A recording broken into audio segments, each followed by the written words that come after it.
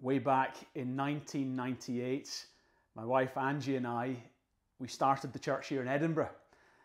And I remember for those early years, things didn't grow very fast.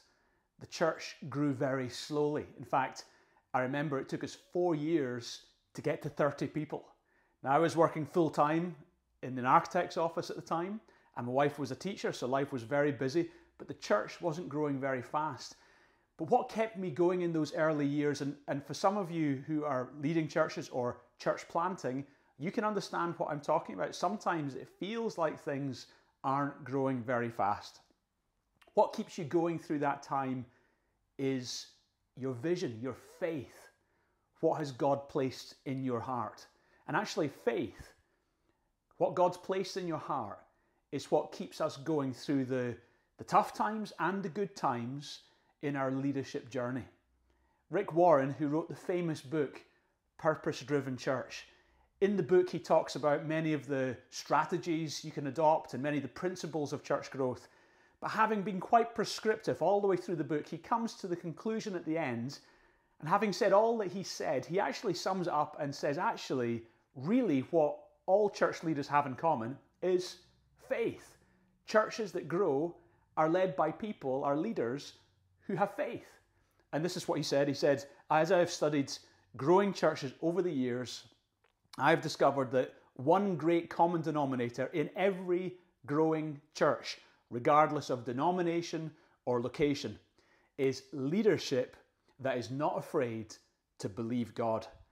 Growing churches are led by leaders who expect their congregations to grow. So, where does our faith come from? It's good to have a vision, isn't it?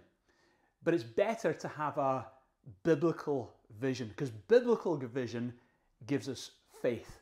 What is our biblical vision for church growth? Let me take you to Isaiah 54. It says, Sing, O barren woman, you who have never borne a child. Burst into song, shout for joy, you who have never been in labour, because more are the children of the desolate woman than her who has a husband says the Lord. Enlarge the place of your tent. Stretch your tent curtains wide. Do not hold back. Lengthen your cords and strengthen your stakes, for you will spread out to the right and the left. Your descendants will dispossess nations and will settle in their desolate cities. An amazing set of verses. How do we be how can we be sure as leaders in churches that our churches will grow? How can we be sure that church growth is part of God's agenda? Well, here's Isaiah 54. Isaiah 54 talks about the expansion of the church. In Galatians, Paul quotes Isaiah 54 in Galatians chapter 4. He quotes this verse that I've just read to you, and, he's, and he, he quotes it in reference to the church. So, Isaiah 54, this barren woman who's singing, this, this encouragement to stretch out your tent curtains, is in reference to the growth of the church. So, my question is how do you know that church growth is a given?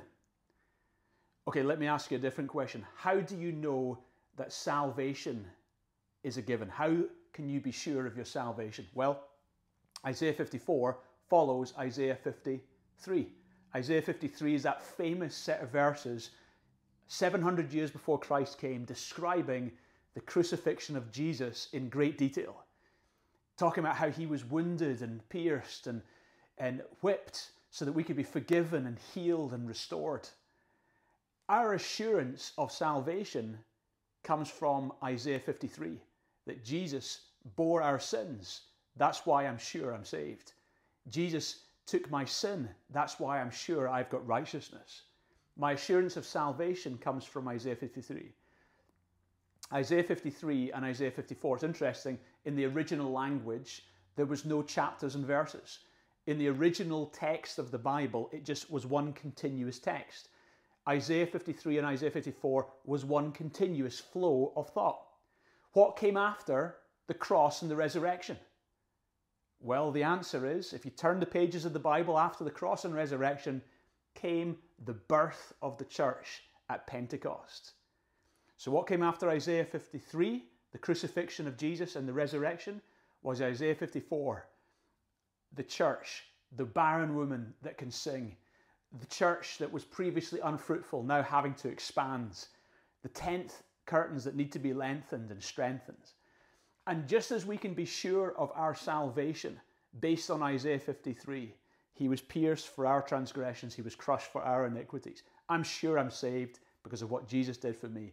You can also have the same assurance of church growth based on Isaiah 53. The reason the barren woman can sing, the reason a barren people can become a fruitful people, the reason a people who previously were unfruitful can become fruitful is the cross of Jesus Christ. You see, the cross not only pays the price for your salvation, the cross also pays the price for the success of the church. The fruitfulness, the expansion, the growth of the church was purchased on the cross 2,000 years ago. And so you don't need to hope for church growth. You don't need to wish for it, just like you don't need to hope for your salvation. You believe it based on assurances from Scripture. So also, I have assurances that the barren woman will sing, and God can do it in any culture, that the church can expand in any culture, not because we're so good, but because Isaiah 53, that Jesus, the price he paid, purchased not only your salvation, but the long term success of the church on earth. That's why it says in Isaiah 2, verse 2, that the mountain of the house of the Lord will become chief of the mountains, and the nations will stream to it. It's not God being wishful thinking, it's not optimism, it's a promise.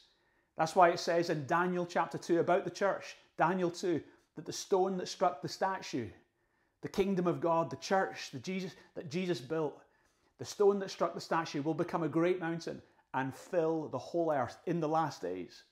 That the church is guaranteed to succeed because God is its guarantor. So you can have faith no matter how big your church is, whether you lead a small church or a big church or a medium sized church, you can have faith in God that He is the one who will give it success. There's a story of a guy who was watching someone fishing.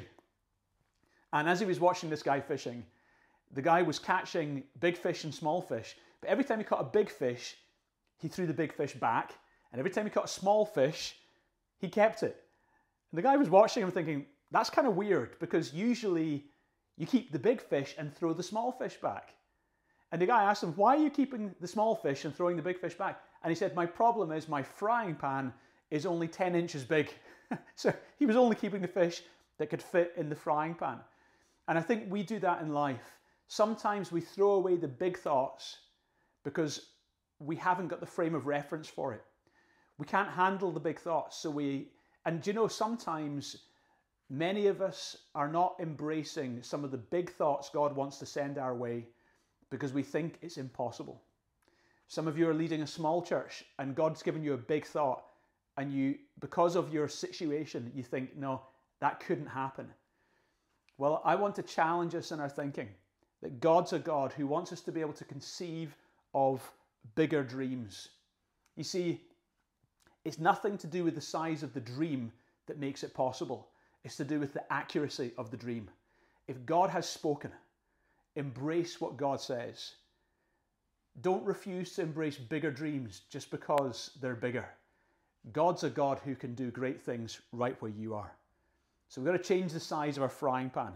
We've got to allow ourselves to dream bigger dreams. In the middle of the last couple of years for us here in Edinburgh, we've gone through so many challenges. In the middle of all that, a friend came to me and said, I have a church building. I've closed the church and I wonder, would you want to take on that church? It was completely the wrong timing for us. We were in the middle of trying to rebuild our own church. And here's this guy saying, Do you want to take on another church? And as I prayed and as I thought about it, I had a rise of faith. You know, if I didn't have a bigger frying pan, I might have thrown that thought away. But instead, I said, Let's do it. And you know what? It is one of our most thriving communities here in Edinburgh. I'm so glad we took on that church. It's resurrected a church, it's growing, it's making an impact in the Musselburgh area of Edinburgh. And so I want to encourage you don't have small thinking. Allow your plans to be big plans because God is a big God. Our assurance of church growth, just like our assurance of salvation, comes not from our own ability or our own skills, but comes from a cross that paid the price for our salvation and the success of the church.